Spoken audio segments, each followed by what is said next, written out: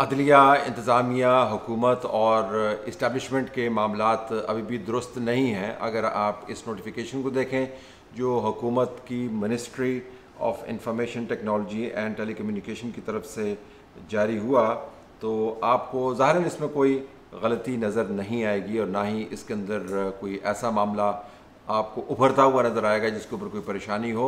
Notification में was अंदाज से बताया गया कि किस तरह, ख़ास कवानीन और एक्ट्स के तहत हुकूमत वक्त ने कौमी सलामती और किसी भी जुर्म को पकड़ने के पेश नज़र आई एस आई के ऐसे अफसरान जो 18 ग्रेड से नीचे के नहीं हैं, उनको अगर उनकी एजेंसी नॉमिनेट करती है तो उनको ये ऑथराइजेशन दी गई है कि वो तीन किस्म के काम कर पाएँ। एक तो कॉल्स को इंटरसेप्ट कर पाएँ, दूसरा ये कि पैगाम को इंटरसेप्ट कर पाएँ और तीसरा ये कि कॉल्स को वो ट्रेस कर पाएँ तो तीन काम वो कर पाएँ और उसके साथ एक्ट और उसका सेक्शन भी कोट किया गया है।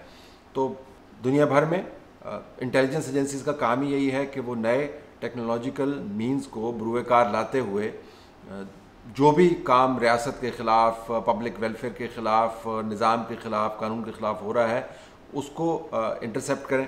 किसी ज़माने में जब तक ये गैजेट्स नहीं आए थे और ईव्स ड्रॉपिंग जिसको कहते हैं, वो टेक्नोलॉजी नहीं बनी थी। यानी कि आप दूर से बैठ के टेक्नोलॉजी को इस्तेमाल करते हुए ये जान पाएँ कि लोग आपस में बात क्या कर रहे हैं। तब तक ह्यूमन इंटेलिजेंस के ऊपर बहुत तकिया किया जाता था। बाकायदा लोगों को घुस बैठिए बनाकर मीटिंग्स के अंदर भेजा जाता था। वो जासूसी करते थे मालूम लाते थे।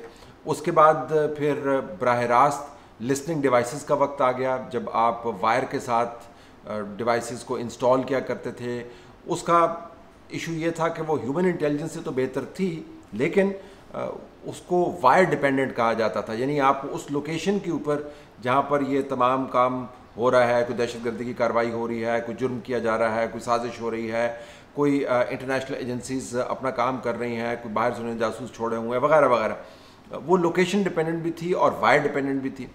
अच्छा वायर्स अगर आप निकाल भी दें तो जब तक उस लोकेशन पर लोग नहीं जाते थे, तब तक जासूसी का काम मुकम्मल नहीं होता था। और उसके बाद जब टेक्नोलॉजी बढ़ी सेटेलाइट सिस्टम आ गया तो ऐसी डिवाइसेस भी बन गई कि जब मैं आपसे इस वक्त बात कर रहा हूँ तो मेरे घर के बाहर या स्टूडियो के बाहर अगर किसी ने कोई गाड़ी पार्क कर दी है और उसके अंदर एक आला लगा दिया है तो मैं जो आपसे बात कर रहा हूँ तो ये जो डेसिबल वेव्स हैं जिनके ज़रिए मेरी आवाज़ माइक रजिस्टर कर रहा है ये फ़िज़ा में जब घूम रही हैं तो वो उसको पकड़ लेगा और दूर बैठा हुआ अपनी गाड़ी के अंदर आ, मेरी बात को मुकम्मल तौर पर सुन लेगा। आ, इसके अलावा कॉल्स कहाँ पे जाती हैं उनका पैटर्न क्या है? अब ये टेक्नोलॉजी अवेलेबल है और जब से ऐप्स बने हैं तो फिर आपका फ़ोन एक ऐसी डिवाइस बन गया जिसके ज़रिए बहुत सारी जासूसी हो सकती है और बीस और तरीक़ेकार भी हैं। तो अगर तमाम दुनिया में इंटेलिजेंस एजेंसीज ये काम कर रही हैं तो हमारी इंटेलिजेंस एजेंसी को भी ये काम करना चाहिए। लेकिन दो बड़े इशू हैं कि इस ऑथराइजेशन को जो दुनिया भर के अंदर मौजूद होती है इंटेलिजेंस एजेंसीज के लिए, जुलाई आठ को जारी क्यों करना पड़ा? क्योंकि इससे पहले आपको याद होगा कि इस्लामाबाद हाई कोर्ट में एक केस के अंदर जस्टिस बाबर सत्तार ने वाज अंदाज से ये बता दिया कि जब तक ख़ास प्रोसीजर को फॉलो नहीं किया जाता, किसी किस्म की टेलीकॉम टेलीकम्युनिकेशन कंपनी जो है, वो इंटेलिजेंस के किसी बंदे को डाटा एक्सेस की फ्राहमी नहीं करेगी। तो उसके ऊपर इसको ब्लैंकेट बैन जो है, वो लगा दिया गया। और उसका पस मंज़र क्या है? उसका पस मंज़र ये तनाज़ा है कि इंटेलिजेंस एजेंसीज के ऊपर इल्ज़ाम लगाया जाता है कि वो जजेस की कॉल सुनते हैं।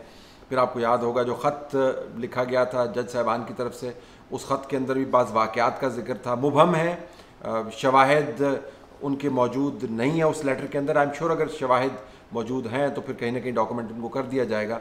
लेकिन एक इमेज बनाया गया कि जज साहिबान के ऊपर जासूसी की जाती है। और फिर जो ऑडियो लीक्स होती हैं उनके ऊपर भी इस तरह पाया जाता है। तो जो सयाक सबाक है, उसका ताल्लुक सिक्योरिटी से नहीं है, उसका ताल्लुक कौमी सलामती से नहीं है। लेकिन चूँकि एक अक्रॉस द बोर्ड बैन लगा दिया गया तो जो बहुत सारे मामला हैं जहाँ पर इंटेलिजेंस एजेंसीज इन गैजेट्स के अलावा काम नहीं कर सकती, वो तातल का शिकार हो गए। यानी आप अंदाज़ा करें, अगर किसी ने, किसी जज साहब की, या जर्नलिस्ट की, या किसी जर्नैल की, या पॉलिटिशियन की गाड़ी चुराने का मंसूबा बनाया है मैं एक आपको आम सी बात बता रहा हूँ, और उसने तीन बंदों को डिप्लॉय किया है, और कॉल्स उसने की हैं, और गाड़ी को चुरा के ले गया है, या डाका मार दिया है, या उसने कोई दहशत गर्दी का और वाक़ किया है तो जो कम्युनिकेशन है, अगर उसके ऊपर आपने ब्लैंकेट बैन लगा दिया है तो पुलिस उसको ट्रेस नहीं कर सकती। इंटेलिजेंस एजेंसी उसको ट्रेस नहीं कर सकती। तो कॉल्स के ज़रिए मुजरमान तक पहुँचना, जुर्म की तह तक पहुँचना एक ऐसा काम है जो उस तनाज़े के अंदर आकर फंस गया। तो हुकूमत की तरफ़ से ये करना पड़ा क्योंकि काम में आप तातुल तो ला नहीं सकते। इंटेलिजेंस एजेंसीज़ के बारे में जो भी सियासी तौर पर तनाज़ा चलता रहा हो वो अपनी जगह पर मौजूद हो और उसकी कोई बुनियाद भी होगी। वो फ़िलहाल बहस नहीं है। बहस ये हो रही है कि क्या एक ब्लैंकेट बैन के ज़रिए वो तमाम काम जो इंटेलिजेंस एजेंसीज़ को करना चाहिए, जिसकी वजह से वो इंटेलिजेंस एजेंसी हैं, जिसकी वजह से वो मौजूद हैं, जिसकी वजह से उनका मौसर किरदार समझा जाता है मुल्क के तहफ़ में, वो रुक जाना चाहिए। तो हुकूमत ने जवाब दिया जी कि वो नहीं रुकेगा, ना ही उसको कोई रोक सकता है। ये नोटिफिकेशन आपके सामने है और अब इंटेलिजेंस एजेंसीज वैसे ही काम करेंगी, जैसे करती रहेंगी। अब देखना ये होगा कि कोर्ट ने चूँकि एक स्टैंड लिया हुआ है आया कोर्ट इस नोटिफिकेशन को नॉकआउट करने की कोशिश करती है या नहीं करती। ये याद रहे कि कोई भी कोर्ट किसी भी हुकूमत के काम को, जो लिजिटमेट काम है अपनी ताकत को बुरुकार लाते हुए, अज खुद बग़ैर वजह के, बग़ैर कानूनी बेसिस के नॉकआउट नहीं कर सकती। अगर ये काम शुरू हो गया तो फिर ना कानून साजी होगी, ना इंतज़ामी मामला चलेंगे।